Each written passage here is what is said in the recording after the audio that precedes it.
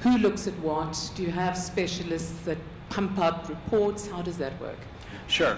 So one thing that is a little different for us than some newsrooms, and I don't know in your organization, is